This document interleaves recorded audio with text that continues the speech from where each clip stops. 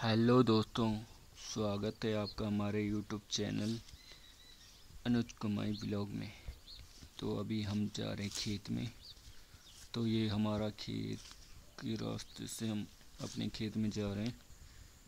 और आपको अभी खेतों के दृश्य दिखा रहे हैं। ये हमारे खेत है। आजकल मौसम काफ़ी बादल आ चुके हैं। आजकल रोज़ बारिश हो रही है। अभी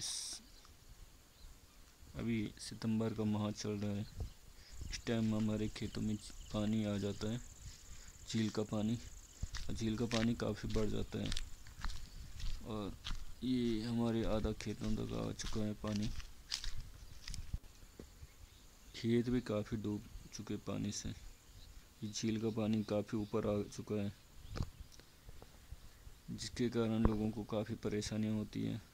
इस टाइम फ़सल को जल्दी से काटना होता है क्योंकि पानी तब तक ऊपर आ जाता है। और अप्रैल के माह में पानी घट जाता है, मार्च, अप्रैल में पानी घट जाता है। इस टाइम पानी का बहाव काफ़ी है। इस टाइम पानी काफ़ी ऊपर आ जाता है। ये हमारे दूसरा गाँव है जो गाँव का नाम बिरकोट है। यहाँ पहले लोग रहा करते थे।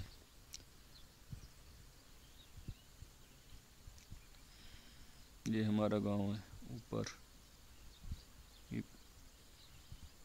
खेतों से थोड़ा ही दूर है। 200 मीटर 200-300 मीटर दूर होगा यहाँ से, खेतों से। गाँव। ये आपको दिखा रहे हैं हम। पानी आया। झीलों झील का पानी है।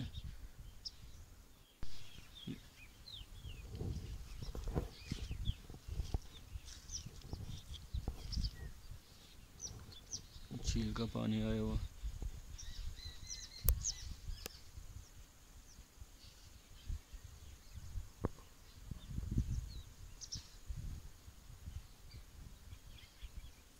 ये खेत में पानी भरा हुआ है। आजकल झील का आ रखा है। झील यहाँ तक आ रखी है आजकल। पूरा